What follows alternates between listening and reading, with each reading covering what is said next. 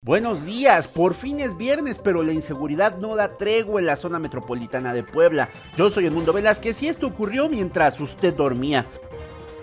Cuatro personas fueron ejecutadas en el bar Pinochos y nueve más resultaron heridas. En estos momentos se mantiene cerrada la carretera federal a Tehuacán a la altura de Amozoc, en donde se encuentra este sitio. La delincuencia está desatada en este municipio. Y tras el ataque armado ocurrido ayer en Coronango, se confirmó que Juan Carlos N., alias El Chacal, de la banda de los Sinaloa, fue el ejecutado en Misiones de San Francisco. El Chacal contaba con una red de halcones para el control del narcomenudeo en la zona. Hasta el día del ataque, incluso sus halconcitos utilizaban el estacionamiento de la tienda Oxo en la calle Estación Central como punto de reunión. En las imágenes pueden verse cómo escapan al momento del ataque. La segunda víctima en este ajuste de cuentas fue un menor de edad que también trabajaba para él y que atropellado.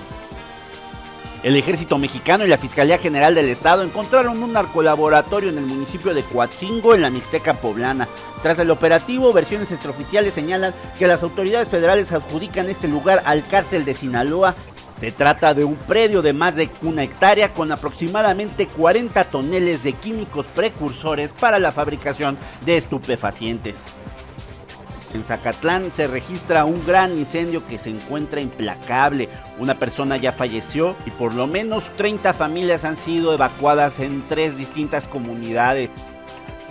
Afortunadamente también hay buenas noticias y en Puebla capital los policías municipales y elementos de protección civil apoyaron a una madre que dio a luz en vía pública. Se trató de una mujer de 22 años de edad quien comenzó con su trabajo de parto en una tienda modelorama de la colonia Bugambilias. Los elementos municipales atendieron a la mujer y también le dieron apoyo para llevarla a una clínica particular. Un aplauso para los elementos de la patrulla 700 de la Secretaría de Seguridad Ciudadana.